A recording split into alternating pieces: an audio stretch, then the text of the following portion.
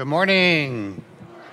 Welcome to our worship service. Merry Christmas Eve, I should say, and we'll say Merry Christmas as you leave the, our time together. So glad you're here to worship with us. Thank you for those joining us online. Uh, we have something different today. We usually have our fill outs out in the Welcome Center, but today we have the pads in the pews. So if you would pass those along, sign in, we would love to get some information. If you've if you could sign that, that would be great. Those online as well, if you just let us know that you're there, we'd love to just know who, who's worshiping with us this morning. Uh, uh, another announcement, just a few announcements. The other one is next Sunday, we have our service again is 11 o'clock. It's New Year's Eve. And then on that night at 9 o'clock, we are having a fellowship dessert and then praying in the new year.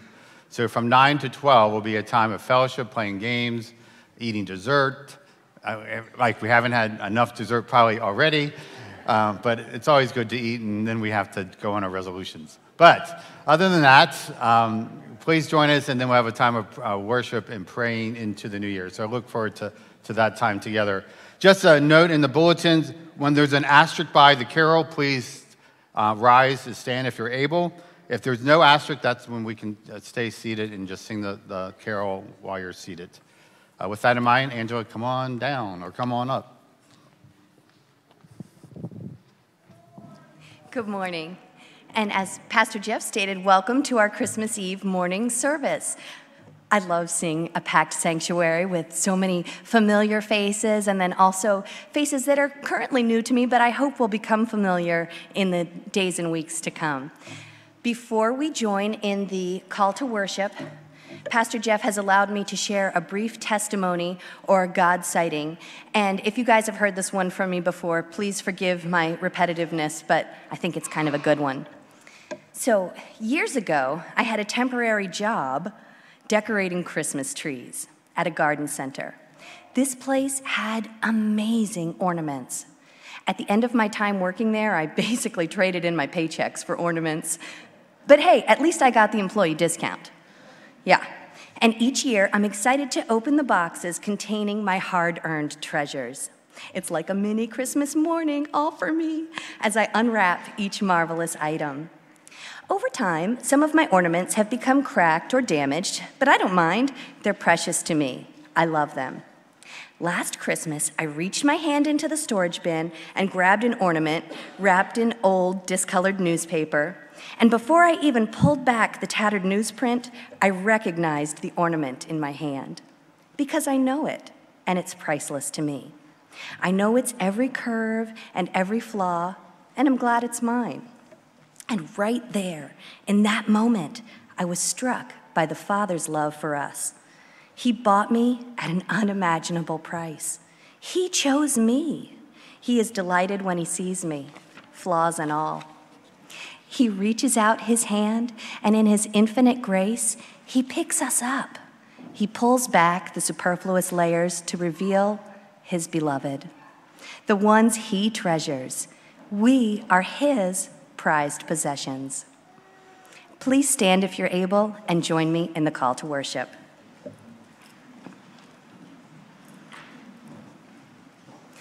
Come, faithful watchers, and behold, your salvation is here. We greet the wondrous light of our Messiah, Christ the Lord. We have waited and watched, longing for God to show up and save us from the suffering and pain in our world. We greet the wondrous light, the fulfillment of our shocking hope. We have waited and watched, longing for peace to reign among us, a peace that removes unjust barriers, frees us from sin, and binds us together as neighbors, family, and friends. We greet the wondrous light, the bringer of our just peace. We have waited and watched, longing for joy that is persistent in the face of grief, lament, chaos, and oppression that weigh on us day in and day out. We greet the wondrous light, the source of our fierce joy. We have waited and watched, longing to encounter the love that transforms us, the love that is now here among us, first as a babe in a manger, then as a teacher, a friend, and our Savior. we greet the wondrous light, love incarnate, who has come to save us and transform us. Amen. Please remain standing and join me in singing Joy to the World.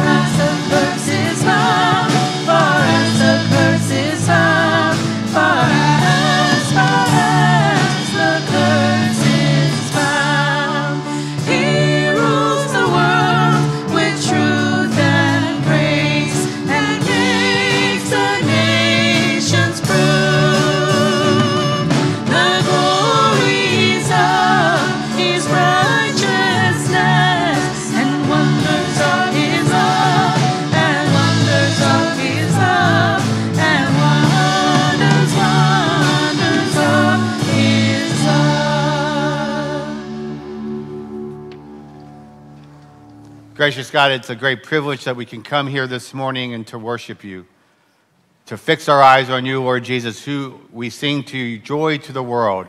Our Savior has come, our King has come, our Redeemer has come, our friend has come, our shepherd has come. And so we sing rejoice this morning as we as we worship you today. And so I, I pray, Lord, for all that we do today, all that we sing, all that we, we meditate on your word as we as we dwell on these prayers, Lord, that you would encourage and, and, and motivate us and, and our walks with you, Lord Jesus. That, Lord, that as we leave this place, that we would be renewed, that we would be changed because we met with you this morning, oh Lord Jesus. May we be people that express that joy then into a world that needs to hear it. And we ask this in Jesus' name. Amen. Please be seated.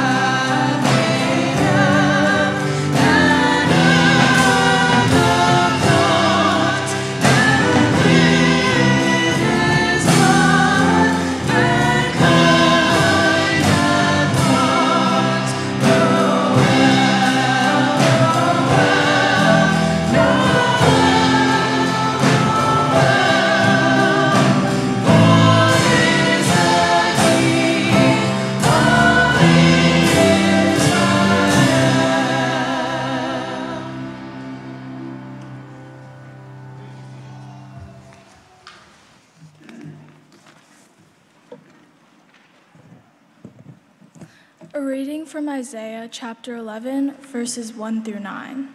The peace that the eternal King Jesus will bring is foretold. There shall come forth a shoot from the stump of Jesse, and a branch from his roots shall bear fruit. And the Spirit of the Lord shall rest upon him the Spirit of wisdom and understanding, the Spirit of counsel and might, and the Spirit of knowledge and the fear of the Lord. And his delight shall be in the fear of the Lord. He shall not judge by what his eyes see, or decide disputes by what his ears hear. But with righteousness he shall judge the poor, and decide with equity for the meek of the earth. And he shall strike the earth with the rod of his mouth, and with the breath of his lips he shall kill the wicked. Righteousness shall be the belt of his waist, and faithfulness the belt of his loins. The wolf shall dwell with the lamb, and the leopard shall lie down with the young goat. And the calf and the lion and the fattened calf together, and a little child shall lead them. The cow and the bear shall graze, their young shall lie down together, and the lion shall eat straw like the ox. The nursing child shall play over the hole of the cobra, and the weaned child shall put his hand on the adder's den. They shall not hurt or destroy in all my holy mountain, for the earth shall be full of knowledge of the Lord, as the water as the waters cover the sea.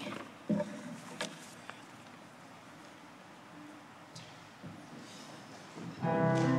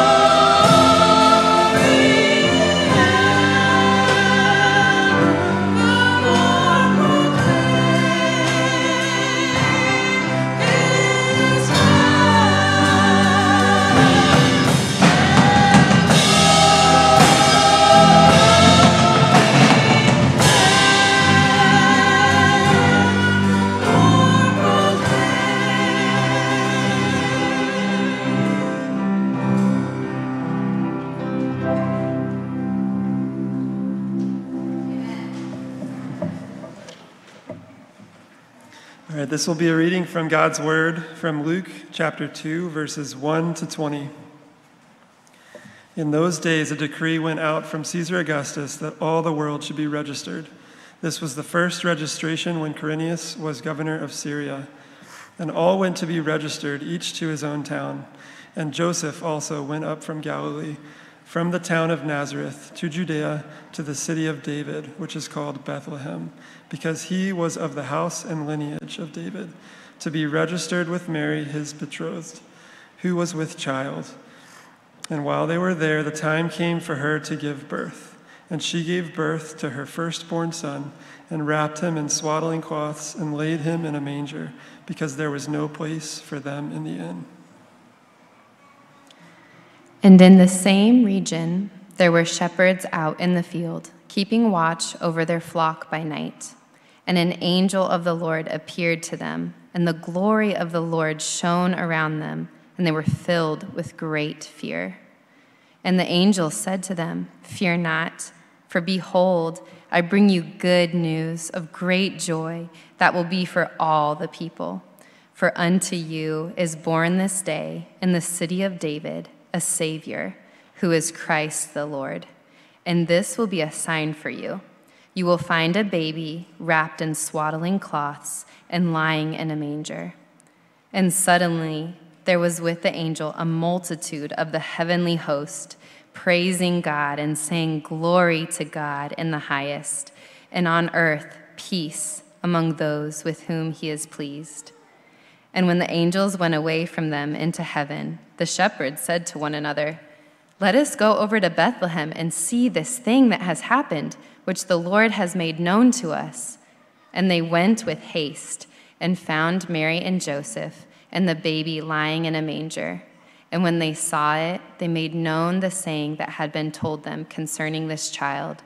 And all who heard it wondered at what the shepherds told them. But Mary treasured up all these things, pondering them in her heart.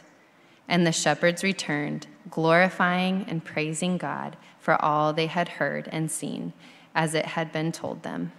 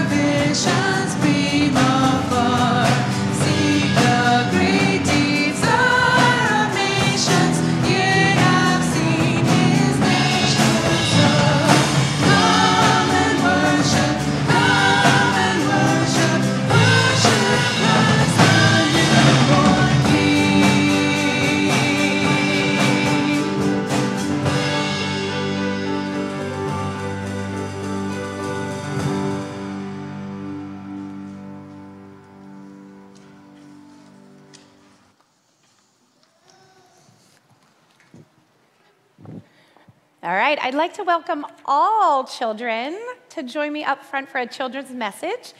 Uh, any adults, if you're not sure that the kids can come on their own, feel free to sit with them and escort them up, and you can sit with me right out here on the stairs.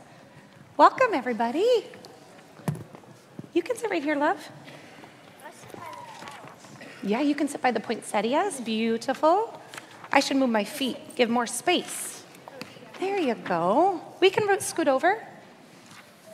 Oh, yeah, make some room, make some room. Jesse's coming. I got new friends looking good, guys. Okay, so can you hear me okay? Nathan? Yeah, check, thumbs up. Excellent. Here comes Lila, here comes Micah. Awesome, love it. Here's Leora. Beautiful faces, good to see everybody. Okay, so Miss Whitney was just standing up there reading from the chapter in Luke in the Bible. And I'm going to take a few parts of that story and focus on today. But I need your help to retell the story and to also answer some questions and then pray with me at the end. Okay, so here we go. So this is the part in the shepherd story. So listen up. This is Luke chapter 2, just the first, the verses 8 through 10. And in the same region, there were shepherds out in the field, keeping watch over their flock by night. And an angel of the Lord appeared to them, and the glory of the Lord shone around them, and they were filled with great fear. And the angel said to them, Fear not, for behold, I bring you good news of great joy that will be for all the people. Okay, so here's the first part we want to focus on. Who did the angels talk to that night? The shepherds. the shepherds. Now, they were the very first people to hear this news. Jesus was born, and God chose shepherds to give the message to. So we want to think about that, that the message of God, the birth of our Savior, is for everyone. It wasn't for the most important people, the kings, the really important judges. It was for everyone, starting with the shepherds. So now we need to know there's a word in there that I really, really think is cool. It says, Fear not, for behold. Now, if you go back in time and you could speak Greek, which I can't, but I looked this up. In Greek, the translation of just that word behold means so much more. It actually means don't miss this. This is an observable fact. And those sentences were said with an exclamation point at the end. Don't miss this. This is an observable fact. I mean, that means a lot more than just saying, look. Okay, so when we sing the word behold today, kids in the kids' choir, or you hear the word behold in any of our praises, it means way more than just look. It means don't miss it. You, you've got to see this thing, okay?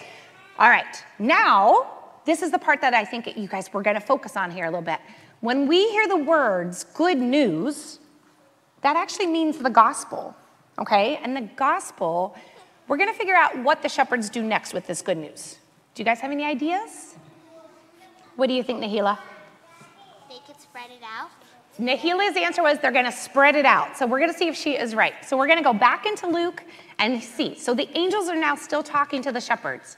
It says, For unto you is born this day in the city of David a Savior who is Christ the Lord. And this will be a sign for you. You will find a baby wrapped in swaddling cloths and lying in a manger. And then we're going to skip to verse 16. See what this is now what the shepherds are going to do. And they went with haste and found Mary and Joseph and the baby lying in a manger.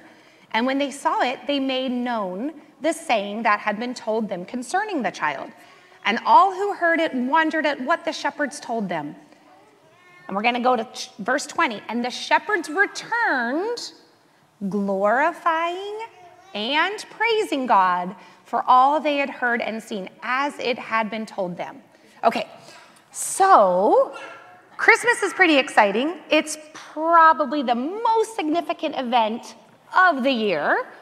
And in fact, the birth of Jesus is in history the most significant event. So we get a chance to celebrate it every year and focus on the birth of Jesus, but we also need to remember what the shepherds did when they heard about it. So they went, they returned praising and glorifying. Okay, so that's what the Bible reminds us. We're all to share that good news, the birth of Jesus. So I'm going to pray for us, and then my friends who are singing in the choir, You're gonna stay up here and get organized. Any of my friends who aren't, you're okay. She's right there. Your finger hurts. I'm sorry to hear that. I bet your mommy has something to take care of that. Okay, we're gonna pray. All right, here we go. Remember, dear children, that we have a great responsibility to share the good news of Jesus' birth with others. Jesus, who is Emmanuel, God with us. Let us rejoice in the hope, love, joy, and peace that Jesus provides today and always. Amen. Okay, you guys can go safely back to your seats unless you're staying to sing. Here, baby, this way. Okay, Jack, you're up here. Go ahead, Kareem, stand up.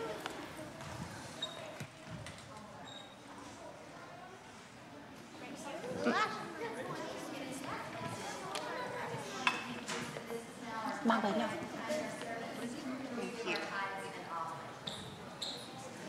Bible says in 2 Corinthians 8 1 through 15, we want to be a generous community. In response to the grace we've received, we seek to give cheerfully, diligently, proportionately, and sacrificially. Ushers, if you'll please come forward to collect this morning's tithes and offerings. Thank you.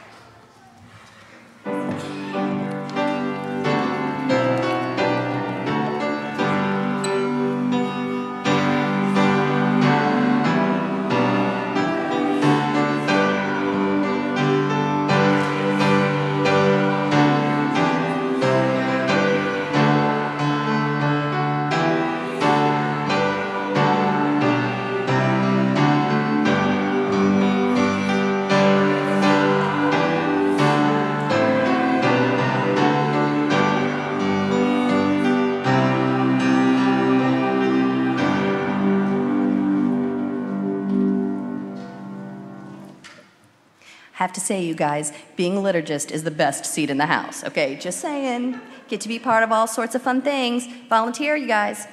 Uh, please remain standing and join me in the prayer for our offering today, which can be found in the bulletin. Giving God, as we recount the story of your gift of a Savior on that night long ago, we remember there were some who said, There's no room, and others who responded, Come, we'll make room. As we bring our gifts to your altar, which group will be the best fit for each of us? Help us give with a heart of abundance and not one of scarcity. On this holiest of nights, let us dwell with those whose chorus is, Come, we'll make room, remembering your abundant love for us. In the name of our Savior and Redeemer, we pray. Amen. You may be seated. Oh, excuse me, remain standing. And continue praising.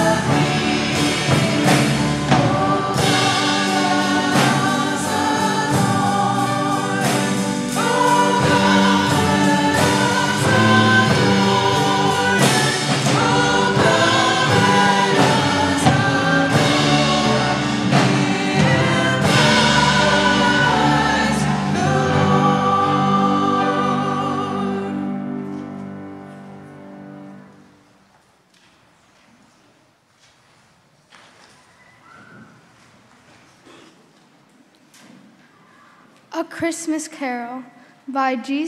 G. K. Chesterton. The child lay on Mary's lap. His hair was like a light. Oh, weary, weary were the world, but here is all aright. The Christ child lay on Mary's breast. His hair was like a star. Oh, stern and cunning are the kings, but here the true hearts are. The Christ child lay on Mary's heart. His hair was like a fire. Oh, weary, weary is the world, but here the world's desire. The Christ child stood on Mary's knee. His hair was like a crown. And all the flowers looked up at him, and all the stars looked down.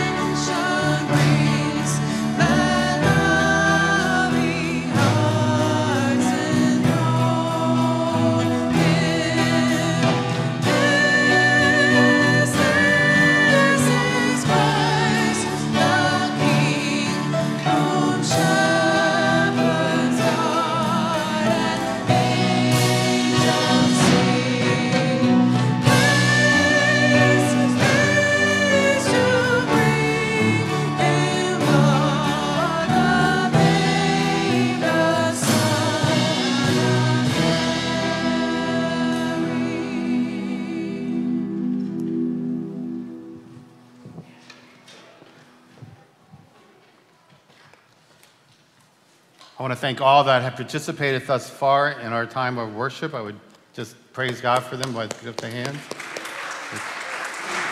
Thank you for all your work and um, bringing us to this point. I promise my message will be short, believe it or not. the last scripture reading that we're going to focus on this morning is on Isaiah 9 1 to 7. Follow along as I read. But there will be no gloom for her who was in anguish. In the former time, he brought into contempt the land of Zebulun and the land of Naphtali. But in the later time, he made glorious the way of the sea, the land beyond the Jordan, Galilee of the nations. The people who walked in darkness have seen a great light. Those who dwelt in the land of deep darkness, on them has light shone.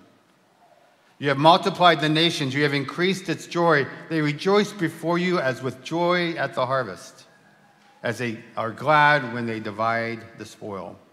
For the yoke of his burden, the staff for his shoulder, the rod of his oppressor, you have broken as on the day of Midian.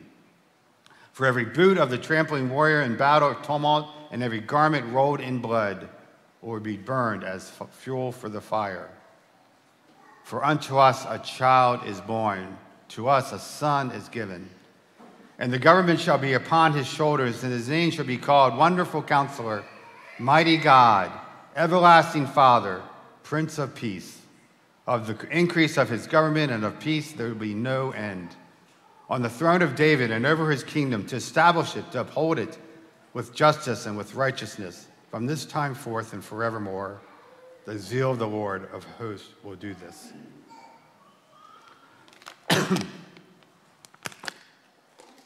As we have been going through this Advent season, we have focused on the messages of Christmas.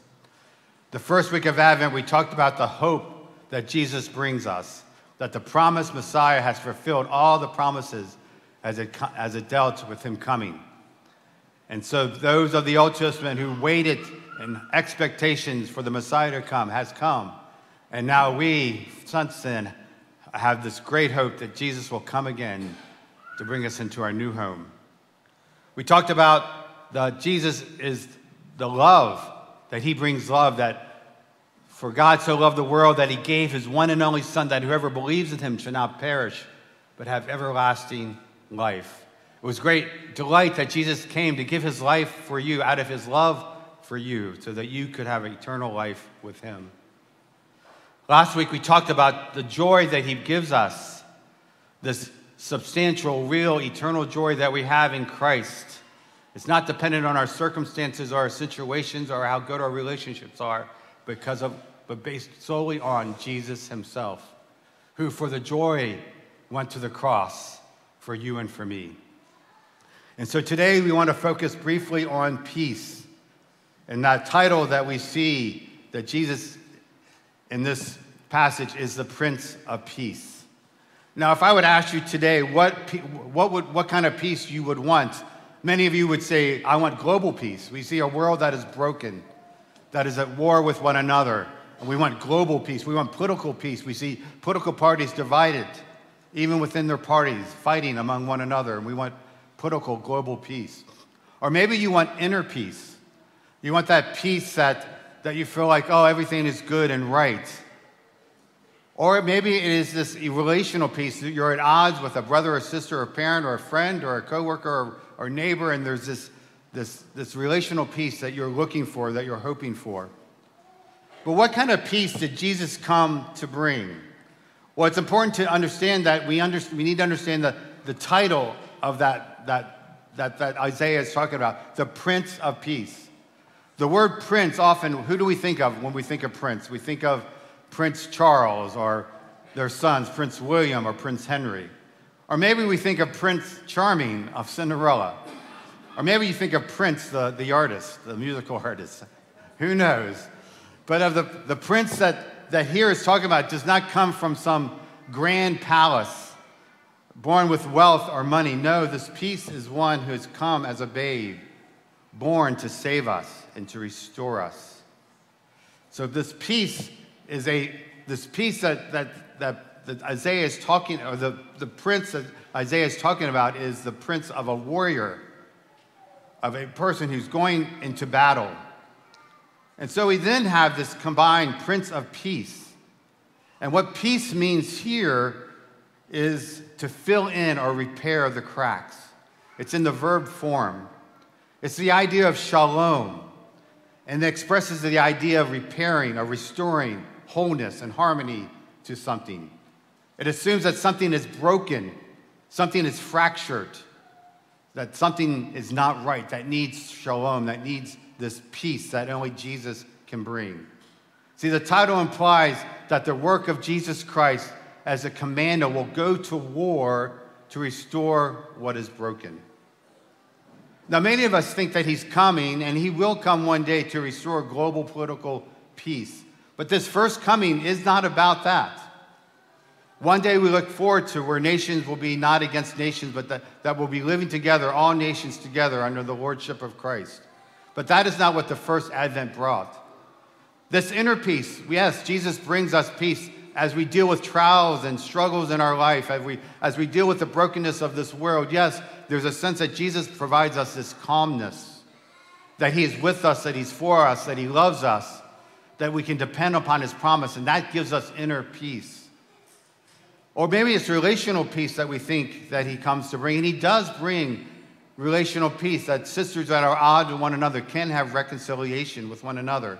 But we know here on earth that that still goes on. There's family strife, there's neighborhood strife, there, you know, fill in the blank type of strife among relationships. But yes, Jesus has come to restore those one day completely. But this Advent, this first Advent, Jesus, the Prince of Peace, came not, not, not only to bring world peace, not only to bring inner peace, not only to bring relational peace, but to bring peace with God.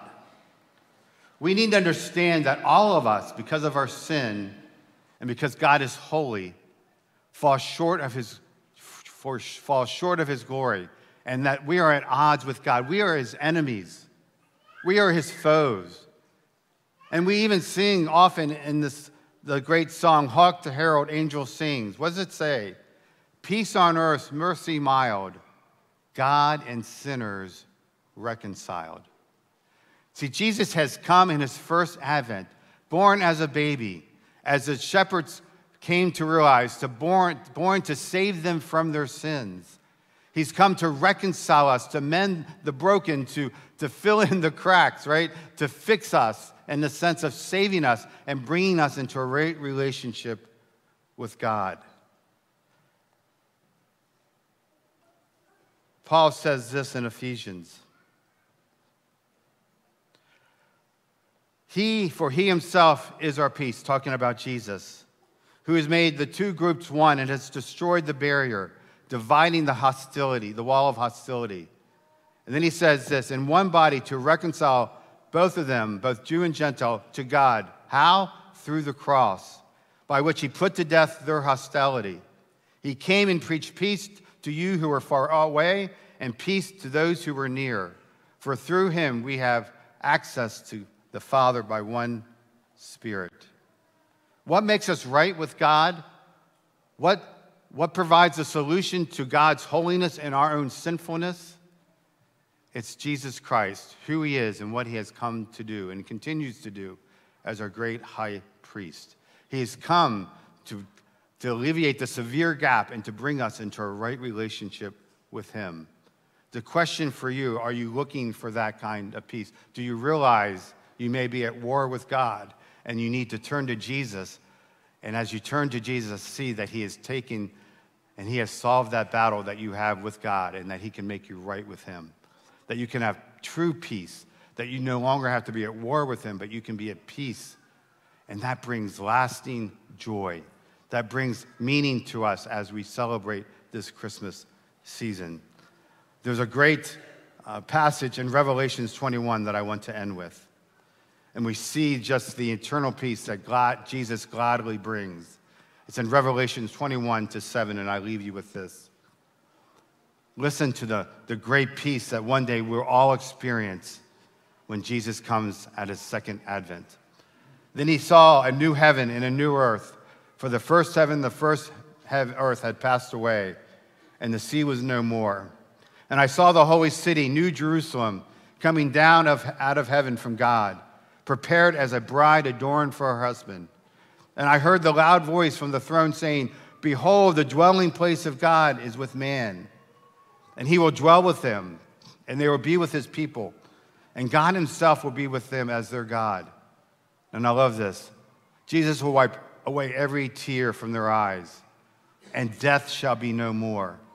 Neither will there be mourning, nor crying, nor pain anymore, for the former things have passed away. And he who is, who is seated, on, seated on the throne of God, behold, I am making all things new. Also, he said, Write this down, for these words are trustworthy and true. And he said to me, It is done. I am the Alpha and the Omega, the beginning and the end. To the thirsty, I will give from the spring of water of life without payment. The one who conquers will have this inheritance, and I will be his God, and he will be my son. Let's pray. Gracious God, we thank you for the true peace that has come to alleviate the severe gap between God's holiness and our own sinfulness.